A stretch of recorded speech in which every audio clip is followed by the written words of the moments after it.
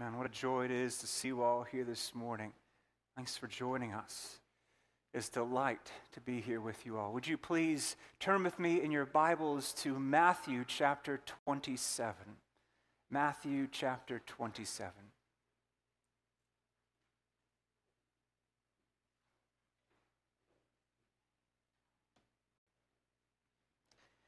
Because I haven't said this before, we do have some visitors here this morning. Just want to make you know that, let you know that we do have some options for uh, young children. We have uh, behind me, we have a nursing mom's room, only for moms, okay? only for moms. You can, right here, just walk through these doors. If anyone starts looking at you, I will call them out, okay? I always do that. All right, don't worry, just walk right up. And we also have a nursery in our, our back building here, too, for children from zero to three. Some great options. We do love our children being in worship, but if they become a distraction to you or to others, we would say that this would be a great way to minister to one unto another. So now we're turning to Matthew chapter 27. We're turning here, we're in the middle of the Passion of Christ. We've just last week looked at, excuse me, two weeks ago, looked at Peter's denial of Christ Jesus, but now we turn to Judas and the Jewish leaders. And we see that Jesus, our Lord, is Lord over all. Before we read the text, let's ask the Lord to bless the reading and the preaching of His word. Let's pray together. Lord, what we're about to do, we cannot do without you. The one who hears, the one who speaks, we need you, O Lord to do a mighty work by your Spirit. So, Lord, as we would even come now to your word to be read, we pray that it would be as it is, the very word of God. And in this moment, O oh God, would you speak to us? Your servants now listen. Pray this in Jesus' name. Amen. Matthew 27, beginning in verse 1, this is the word of God where truth resides. Now, when morning came, all the chief priests and the elders of the people conferred together against Jesus to put him to death. And they bound him and led him away and delivered him to Pilate the governor. Then, when Judas, who had betrayed him, saw that he had been condemned, he felt remorse and returned the thirty pieces of silver to the chief priests and the elders saying, I've sinned by betraying innocent blood. But they said to him, What is that to us? See to that yourself. And he threw the pieces of silver into the temple sanctuary and departed, and he went away and, and hanged himself. The chief priests took the pieces of silver and said, It is not lawful to put them into the temple's treasury, since it is the price of blood. And they again conferred together and with the money brought, or excuse me, bought the potter's field as a burial place for strangers. For this reason, that field has been called the field of blood to this day. Then that which was spoken through Jeremiah the prophet was fulfilled. And they took the thirty pieces of silver, the price of the one whose price had been set by the sons of Israel, and they gave them for the potter's field as the Lord directed me. The grass withers, the flower fades, but the word of God endures forever.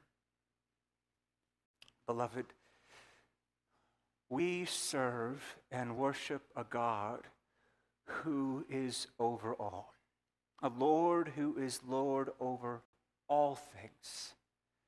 He is not just a Lord that is over some things or even just a lot of things.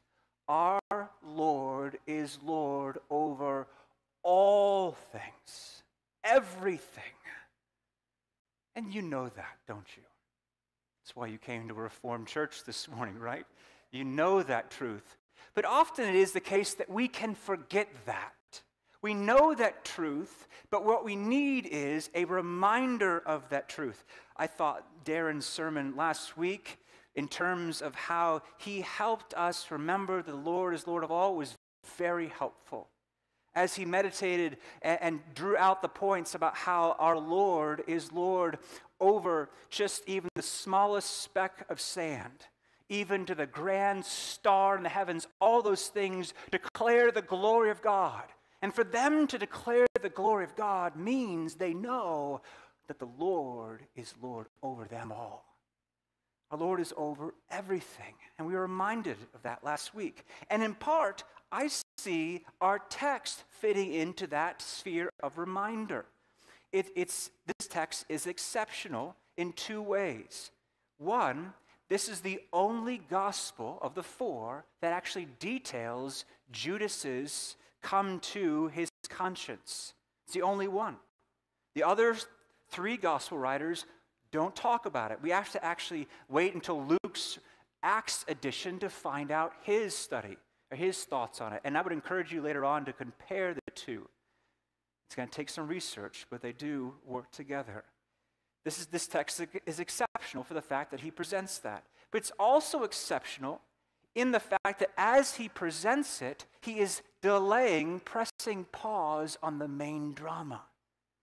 We said that two weeks ago when we talked about Jesus being put on pause for Peter's denials and how significant that was as we looked into Peter's denials. But here again, the pause button is hit after we see in verses 1 and 2 about Jesus and how all the chief priests came and the elders to confer him or to deliver him to death. Here now, Matthew presses the pause button again and he focuses in on Judas.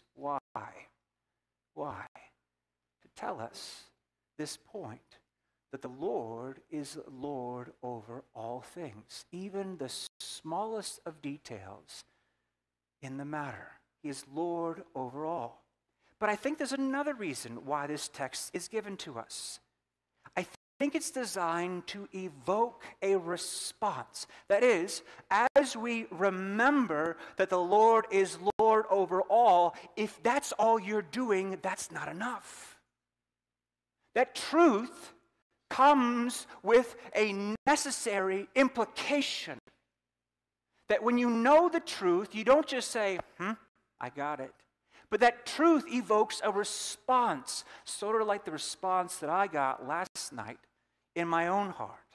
When I was driving home from working late in the sermon, I know I shouldn't be doing that, right? I was driving home late, it's 9 p.m., and at the corner of Reynolds and Duren. And I was waiting for the green light, and all of a sudden the light went green and great, but then at two seconds after that, a car just was speeding past, going right through that red light. And so what did I do? Being the Floridian, not the Georgian, not from Georgia, I laid on my horn. Brain, you know, saying, don't you dare do that. That's what I was trying to say with my little weak RAV4, you know, beep, beep. I was trying to say that, right? I'm, and so I laid on my horn, I watched that guy go by. Instead of putting my gas, you know, put my foot on the pedal and start driving. You know why? Because there, after that guy went another guy. Five seconds later, it was his buddy. Similar cars, I'm guessing. But in that moment, I was like, I'm so, because my head was like this. I was looking out, laying on the horn. I did not look at the second person. But you know what? in that moment, the Lord was Lord of even this Floridian that was laying his hand on the horn instead of putting his foot, his foot, his foot on the gas pedal and driving. But as, as, I, as I realized that the Lord is Lord over everything, it evoked a response. You know what that response was? One, a little bit of anger, but then secondly, of thanksgiving. I was like, Thank you, Lord. Thank you. That should be a response. I was praying a little bit for his conscience to be convicted through my weak horn, because I blew my horn at that guy again. But,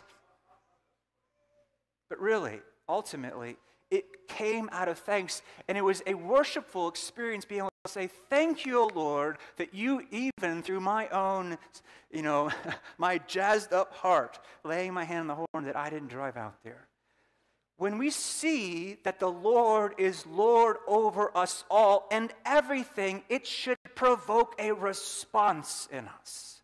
And that's what I want to talk about this morning. Because we're going to see that the Lord is Lord over all in two particular spheres He is Lord over the chaos and He's Lord over the conscience. But I don't just want to tell you that, that factual thing, He's Lord over the chaos and the conscience. I want you to, to respond. And so I, my actual points are actually what you are to do in light of the Lord being over those things. Okay, so that's what we're going to focus on here this morning. So there are two points this morning. Because he is Lord over the chaos, we need to trust him. We need to trust him. Now, as we look at our passage here, chaos is perhaps one of the best words to describe what's going on, perhaps pandemonium. I mean, just, I know that we have read this passage so many times, and it's become so commonplace to us. It's not chaotic. Put yourself in the shoes of the, the first century believer, right? Or perhaps just in the person who lived in Jerusalem. This was a very chaotic time. And particularly in our text, there's a lot of chaos going on. Look with me at verses 1 and 2. When morning came, all the chief priests and all the elders of the people conferred together against Jesus to put him to death, and they bound him and led him away and delivered him to Pilate the governor. Now, what's chaotic about that? Well, remember just a couple days, maybe even a full week before, everyone was coming together to praise the name of Jesus. Hosanna!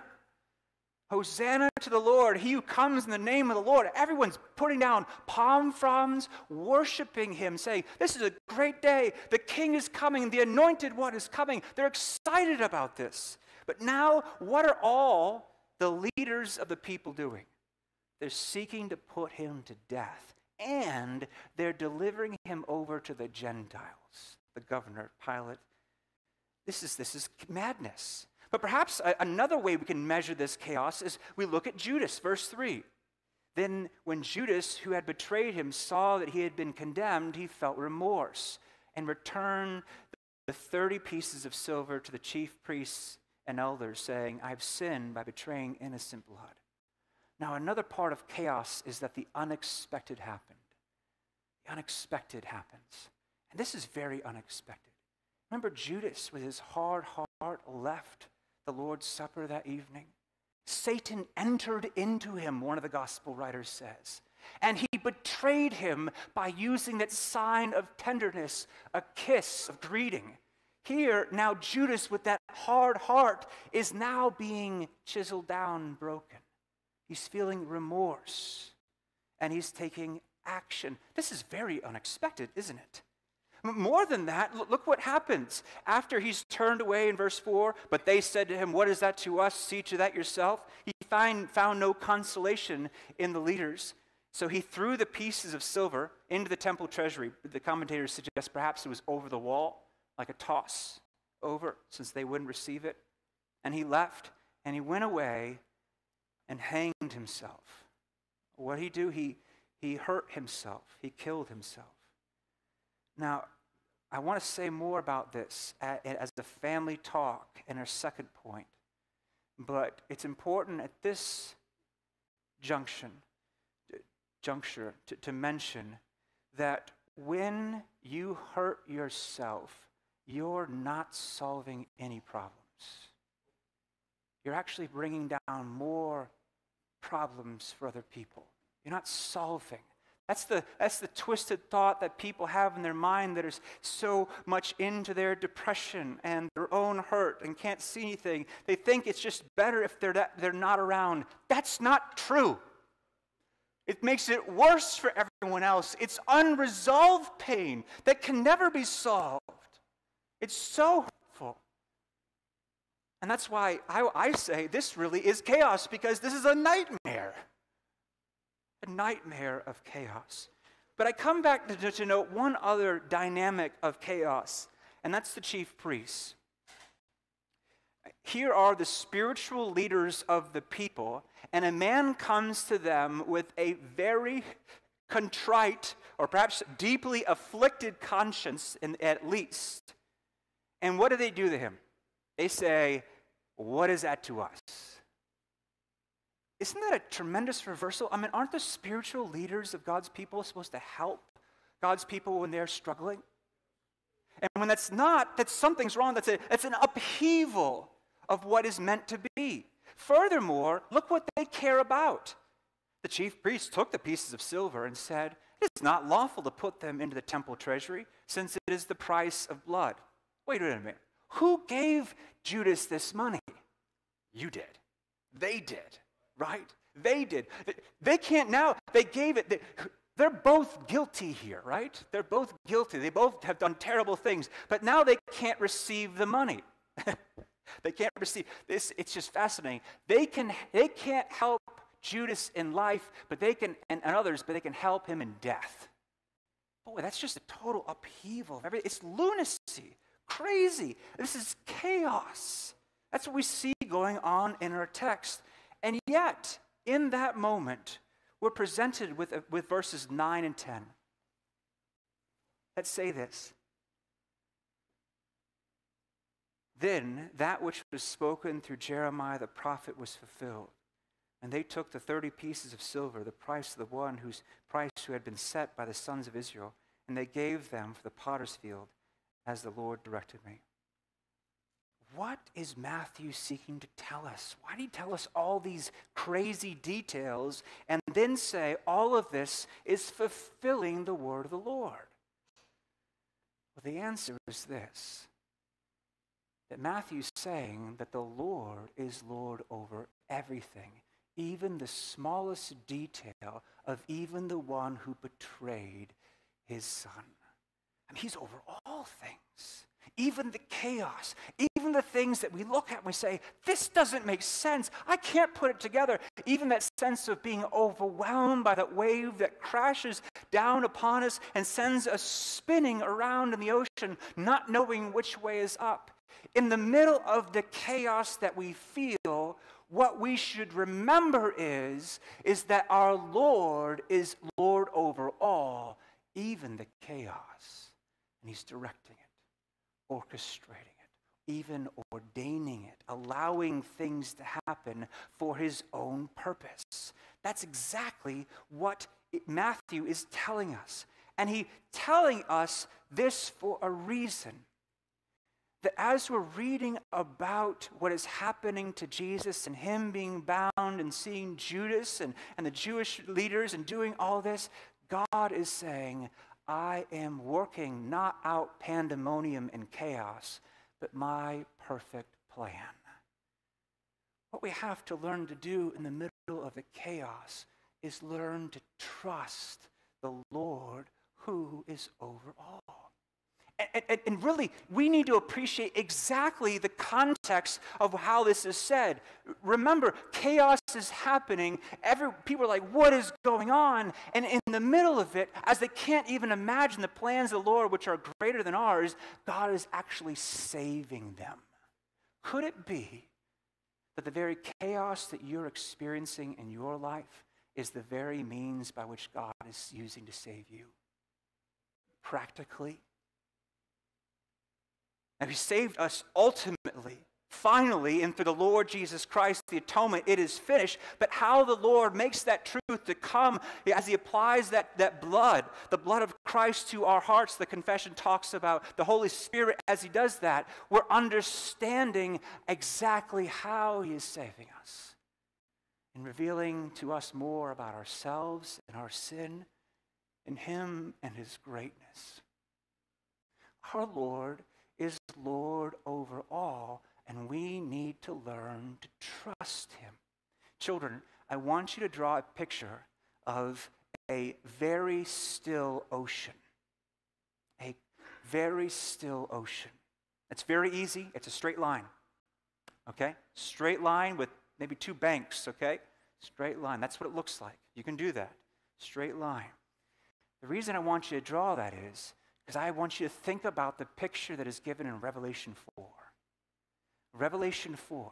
Revelation 4 comes just before the, the, the, the breaking of the seals, just before the pouring out the bowls of wrath, when judgment and chaos and Armageddon reigns on the earth and total destruction. Everything's going, wow, what's going on? Half the world dies about five or six times, right? Or everyone dies, right? That's, that's, that's the idea that everyone doesn't believe in the Lord is going to be judged. And it, from our perspective, it looks like just that there's no logic or reason to anything. And yet, the scene in heaven in chapter 4, verse 6 is of the Lord on his throne before a sea of glass or crystal. And what is that to say?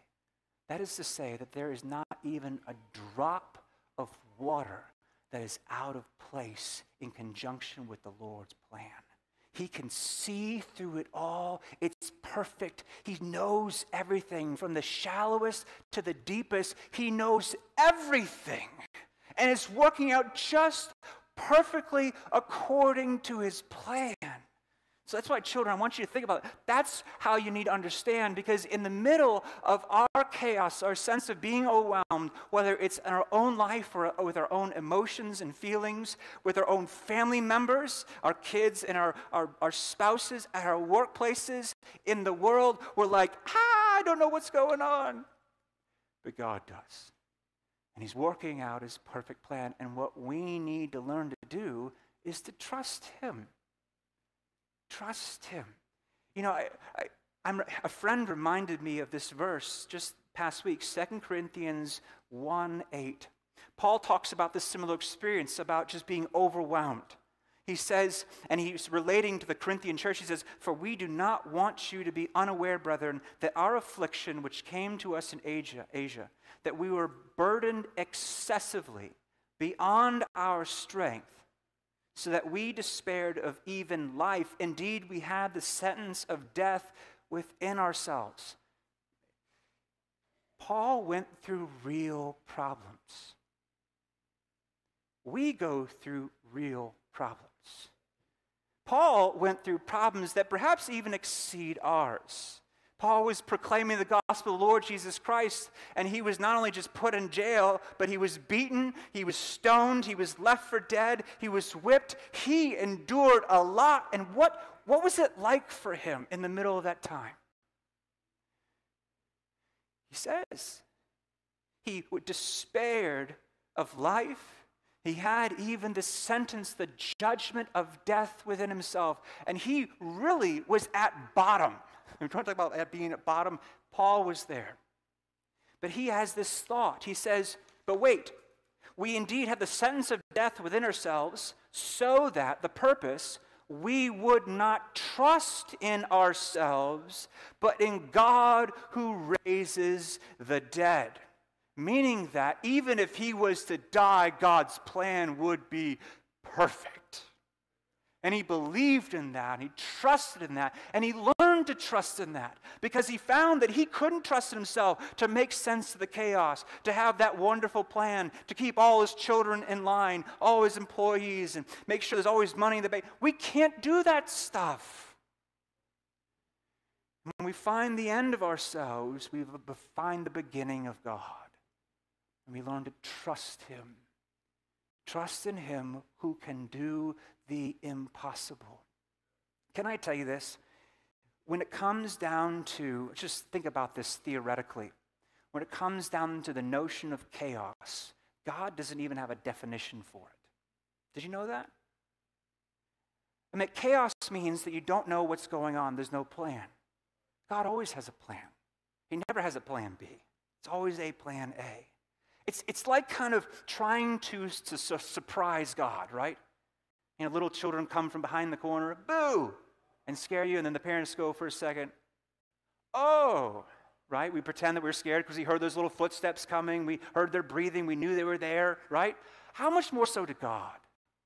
He knows everything is going to happen, and we, he comes out, we, we boo, and we try and scare him. He knows it's going to happen. There's no surprise to God, there's no chaos to God. He knows everything. What does that tell us, though? You need to start trusting Him. Saying, Lord, I don't know what I'm I don't know what's going on, but I know that you know what's going on, and I trust you. You know, you can actually, in the moment, you can find peace in the moment of chaos. How? By placing your trust in Him. Say, Lord, I trust you. And, and what that looks like, young people, is instead of putting it on your planning, putting it on your ability and on your thought process, staying up late at night, what you do is you take that, you say, Lord, this is all yours. I trust you. You're going to work out this perfect plan. Trust you. Every time. And your mind's going to run back and you say, Nope, it's with the Lord. Trust Him. I believe Him. I don't know what's going on. He does. In this, I'm confident. Psalm 27 speaks, I could keep talking about this point. I love this point. David is surrounded by his enemies.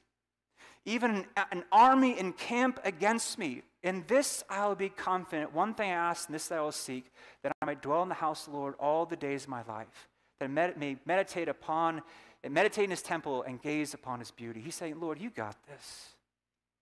Is that where you are in the middle of your chaos? I'd encourage you to do that. Trust Him this morning. That's point number one. But then, point number two, we need to look back here because we see the Lord is Lord over all, not just the chaos. He's also Lord of the conscience. And we are, as a result of Him being Lord of the conscience, we are to go to Him. Go to the Lord of the conscience. So here we have two groups of people that have a moment of conscience. There's first Judas in verse 3. Look with me there. It says, Then when Judas, who had betrayed him, saw that he had been condemned, that is, Jesus had been condemned, perhaps Matthew leaves it in the vague he as to say, perhaps even Judas was feeling that. He, that is Judas, felt remorse and returned the 30 pieces of silver to the chief priests and the elders, saying, I've sinned by betraying innocent blood. Now, we've we mentioned how this is remarkable. I would say, I would go even further that Judas, at this moment, his conscience is being pricked. He displays quite a robust conscience. In terms of the theological categories that we put out there, he felt remorse, contrite. Verse 3. He sought to make uh, restitution. He returned the 30 pieces of silver. He even made a confession, a verbal confession. I've sinned by betraying blood. All of this, his conscience was starting to come alive. That's not the only person whose conscience was starting to come alive. The chief priests. Now, came, it came a little late. They didn't respond to Judas. Usually, when a one conscience is pricked, the other conscience is pricked too. It's, it's wonderful how that happens in marriage. Satan doesn't want you to soften, but the first one to soften actually wins the battle, and the other person softens too. Because the Holy Spirit's seeing which one of you is going to be soft first. And then he's going to use the other one to affect the other person. But here, it doesn't happen. Here, it doesn't happen. But yet, their conscience is pricked about the money. It is not lawful to put into the temple treasury since it is the price of blood. And so they conferred together with the money bought, and they bought the potter's field as a burial place for strangers. We can talk about the burial place, how it was called the potter's field because they would dig out the clay and there'd be these holes in the ground. It'd be a great place to bury people who don't have much money. We could talk about that. But, but really, I think the point that we are to understand here is that there are two consciences, there are two types of consciences that are being pricked.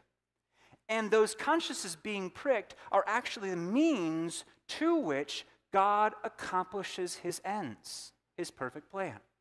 That is, by, con- by convicting the conscience of Judas and the conscience of the Jewish leaders, it leads to God's will in 9 and 10 from the prophets. But here is the point I want to make. The Lord isn't just Lord of the conscience, see me the conscience, the, as I was trying to say. The Lord isn't just the Lord of the chaos, but as He's able to prick a conscience in whatever way He wants, He is also the Lord of the conscience, the Lord of it. That's the magisterial statement that is said in our confession of faith that the Lord, that God alone is Lord of the conscience. And I, I want to tell you that this day because we're being told by the media that really it's just a voice in our head. Well, perhaps it's just an angel, as they say, or a devil, right? Up there on our shoulders. Beloved, that's not true. What that is, is God pricking your heart. And what he's doing is he's doing what many good surgeons have to do in order to get to the spot they can be healed. They have to slough off, cut off the hard skin and get down to the soft spot. Children, I want you to draw a heart, a simple heart, and a heart just being pricked and starting to bleed. Because that's exactly what God is seeking to do. As He prompts the conscience, as He comes in there and taps the conscience, He wants that conscience to come undone. And He is doing that and He's displaying how He is over that. And yet, there's a problem here. The problem is, is both Judas and the Jewish leaders don't go far enough. Did you notice that? Even as Judas confesses his sins, admits that, he's, admits that he has sinned against uh, innocent blood, how he's feeling remorse and, and seeks to make restitution, he fails to do something and he takes things into his own hands and tries to alleviate his conscience. And so too with the Jewish leaders. Not responding to the right thing, the man who is breaking down before them and admitting their guilt, they seek to alleviate their conscience by doing a lesser good. And people do that all the time. These men didn't go far enough in the pricking of their conscience. And where didn't they go? They didn't go to the Lord. Now, it's a fascinating picture to see this. Now that we said all that, Jesus isn't the only one that is bound in this text. Judas and the Jewish leaders are bound in their conscience to the Lord. But they miss the picture, the important picture that Jesus was allowing himself to be bound in order to set consciences free, in order to free people that turn to him, that go to him. And this is where we see that, that picture in John 21 after, you know, this is this, the, the, the time that, that Peter sees Jesus. And what does Peter do when he sees Jesus on the shore and he realizes it's him? He doesn't wait for that boat to get there, he jumps into the water. He is running to his Lord. Why? Because he knows that his Lord is Lord of the conscience that can set him free. And beloved, I want you to know that this morning. And I don't want you to fall short in terms of your conscience and the guilt you bear for the sin that you have committed whether 10 years ago or yesterday. I want you not only just to confess that sin to the people that you sinned against, make seek to make restitution, feel bad about it. I want you to go even further to the one who was bound for you to set you free. I want you to go to Jesus. I want you to find in him deliverance, forgiveness he that calls upon him, that goes to him, that believes in him, shall not be disappointed. Remember what Jesus did to show that he can forgive sins? Remember how he was before the Pharisees, these, these chief priests and elders, and even before Judas, and they were doubting that he has the ability to forgive sins? What did he do? You remember Matthew chapter 9? He healed the paralytic so that you may know that the Son of Man has the authority to forgive sins, stand up and walk, and he did. Maybe that's something that you need to hear this morning, as you would bear a guilty conscience for what you have done in times past, or perhaps even the present.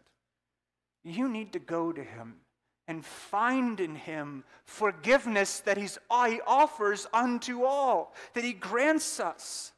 Oh, I plead with you go to Jesus. And here's where we come to the family discussion about hurting yourself. Hurting yourself won't help. It's not going to make it any easier.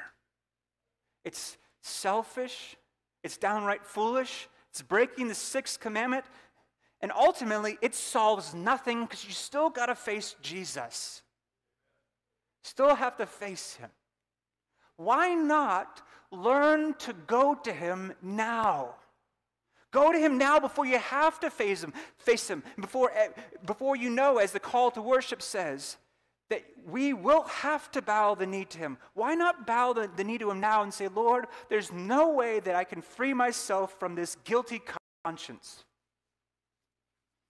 Would you free me from it? I hear that you forgive sinners. Would you forgive me?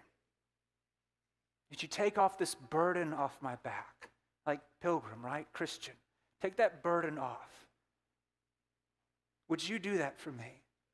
Can, can I encourage you this morning if you're despairing and have, have great struggle of depression in your heart? Can I tell you the fact that you feel bad about what you've done is actually a ray of hope.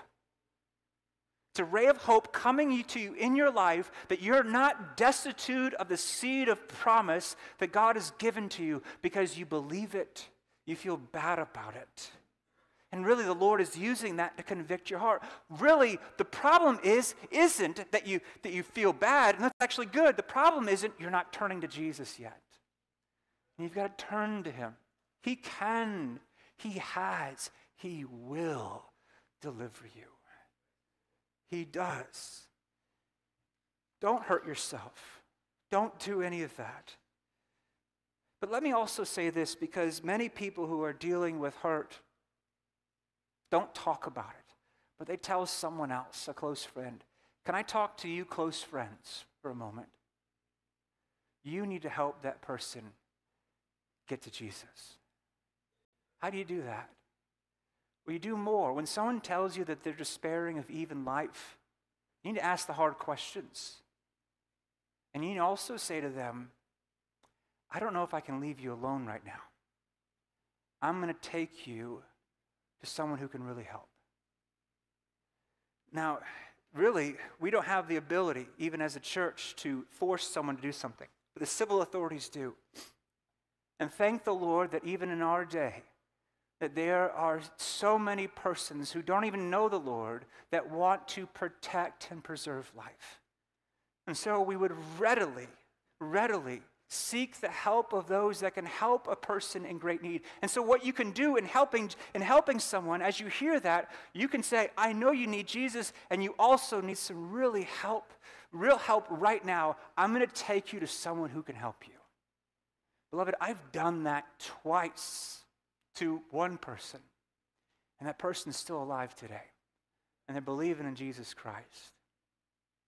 It was hard and was scary. And that person didn't like me when that happened. But they're still here today. And beloved, that's perhaps what we need to do.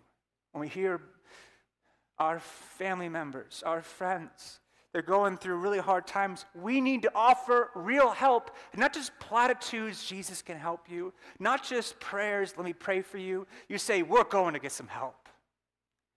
And then you take them to that help, that hospital, and then you walk them through that process. You be that friend that is closer than a brother, seeking to be Christ to them. And you help them. You say, Jesus can help you. He has helped me. I know. Beloved, we must go to him. And sometimes we must help others go to them. Please, let's go to him. This is a family discussion here. It talks about it in the scriptures. And I needed to talk to you about that this morning. Please hear my heart that we need to go to Christ. Let's go to him right now in prayer. Let's pray together. Lord, you are indeed Lord of all. You're Lord of us all. You're Lord over everything. And we cry out to you this morning. We pray, oh Lord, that you'd help us. Help us in the middle of the chaos we're feeling the upside down, the inside out. We, we're not in control. But help us to say, Good, my God is, and rest. And also, Lord, in the middle of our despair and our guilty conscience, help us to turn to you Help us to realize that as we bang the floor, we perhaps can bang on the doors of heaven until they open up to us and we find the good news that is promised to us in the scriptures. That a sinner can be saved, a sinner can be relieved of all their guilty conscience because the blood of Jesus can wash us clean. Oh Lord, we thank you. Help us, we pray. We ask this all in Jesus' name. Amen.